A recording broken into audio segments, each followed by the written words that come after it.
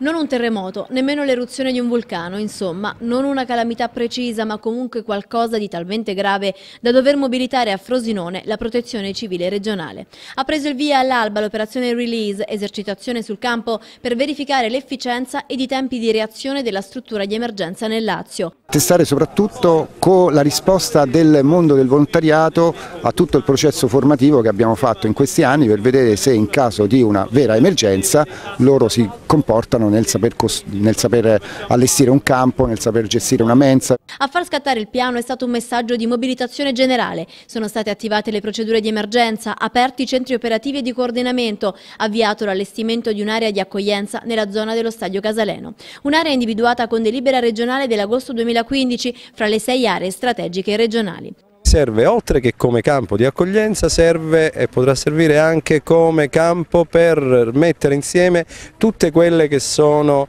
i eh, soccorritori che dovranno partire alla volta di un'altra regione o verso a dare aiuto agli altri. Sono circa 400 le persone impegnate nell'esercitazione, di cui circa 260 volontari del territorio della provincia di Frosinone e 150 tra personale di amministrazioni, forze dell'ordine e osservatori esterni. Al Casaleno Salerno sono stati attivati tre gazebo di accoglienza, un posto medico avanzato, un tendone sociale, una cucina induzione, 23 tende da 8 posti, una postazione mobile, un'autocisterna, un generatore elettrico, 40 osservatori esterni e 27 dipendenti dell'Agenzia regionale di protezione civile. L'obiettivo delle esercitazioni è precisamente questo, e cioè mettere a punto i sistemi, fare in modo che eh, funzionino davvero in una situazione di emergenza e per farlo bisogna lavorare tanto in sinergia come si sta cercando di fare qui a Frosinone. Una macchina organizzativa c'è, funziona, può essere messa in campo e tutti devono partecipare, perché ribadisco il concetto, la protezione civile siamo tutti noi,